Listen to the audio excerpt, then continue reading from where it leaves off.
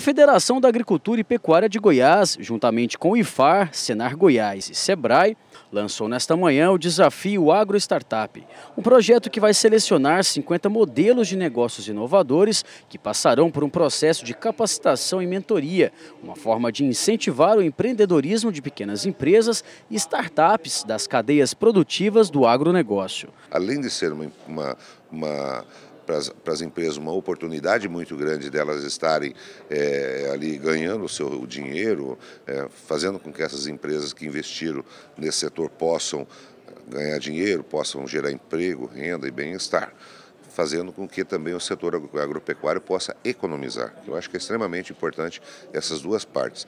Os participantes passarão por um processo seletivo em quatro fases, até chegar às três melhores ideias, que serão premiadas na Feira Tecnoshow, que acontece em abril de 2018. Todo mundo vai poder estar inscrevendo a sua ideia e participando de uma capacitação online, onde vai estar conhecendo um pouquinho melhor esse ecossistema, todo esse ambiente de uma startup. Em seguida, nós faremos a seleção das 50 ideias, 50 melhores ideias que serão avaliadas por uma banca, onde especialistas estarão ajudando a que essas grandes ideias tornem-se um grande negócio. Então nós teremos com isso no ano de 2018, a premiação das três melhores ideias. O João Guilherme e o Idaiano são empresários e possuem uma startup recém-criada, uma plataforma interativa de compra e venda de gado. E na busca por fazer crescer a empresa, vão participar do desafio.